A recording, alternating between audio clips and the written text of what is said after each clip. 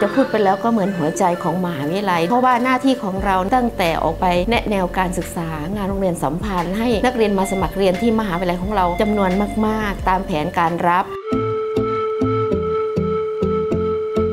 สวัสดีค่ะ ดิฉันทิพวรรณเจริญศักดิ์ตำแหน่งผู้อำนวยการกองบริการการศึกษา สังกัดสำนักงงานที่การบดีค่ะ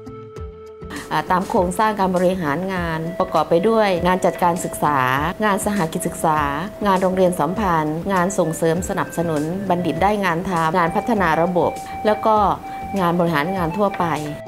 ในส่วนตัวดิฉันเองนะคะ เริ่มทำงานตั้งแต่ปี 2524 เจ้าหน้าที่ธุรการหนึ่งสังกัดคณะมนุษยศาสตร์และสังคมศาสตร์ จากนั้นก็เข้าสู่ตำแหน่งเลขานุการคณะมนุษยศาสตร์และสังคมศาสตร์ แล้วก็ได้เปลี่ยนให้มาดำรงตำแหน่งผู้อำนวยการกองบริการการศึกษา จนถึงปัจจุบันนี้ก็อายุราชการก็ 39 ปีแล้วค่ะ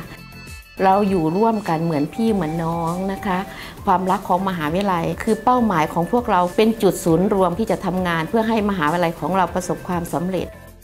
คติในการทำงานเริ่มต้นจากความรัก ความรักในหน่วยงานที่เราทำงาน ความรักเพื่อนร่วมงานทำงานเป็นทีมเป็นหัวใจสำคัญ ให้โอกาสคน ถ้าหากรู้จักใช้โอกาสให้เป็นประโยชน์ ทุกคนควรจะเอาโอกาสนั้น มาใช้ให้เกิดประโยชน์สูงสุดค่ะ